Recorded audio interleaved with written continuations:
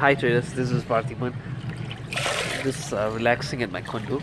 Okay, the reason I'm preparing the video is uh, just want to update you guys that uh, Euro USD already broke the weekly chart.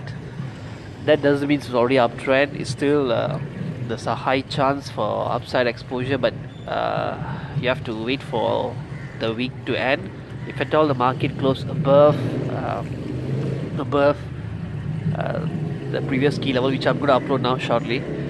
So that means it's uptrend and I'm going to show you how to trade profitably uh, with with the directional trading. I'm going to upload my account statement live account statement over here. I took a position in Aussie USD and uh, Euro Audi.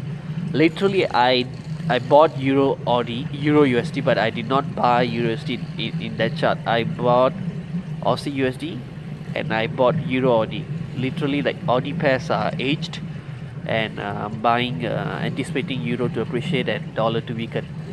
And, uh, and the important part is relaxation is very important. Each time you trade reward yourself uh, well because uh, mental state is very very important in trading.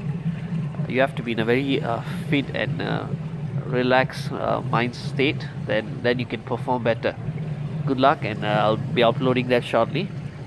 Safe trade